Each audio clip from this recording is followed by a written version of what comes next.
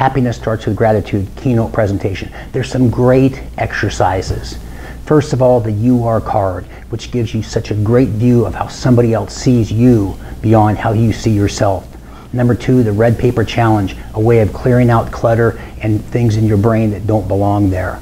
Number three, the 60 second gratitude card. Just takes one minute to that gratitude get into your brain and see how it works. And finally, the four T's, a great way to communicate your gratitude and appreciation to those around you. That's four of the exercises which are really, really fun to get the engagement from the group.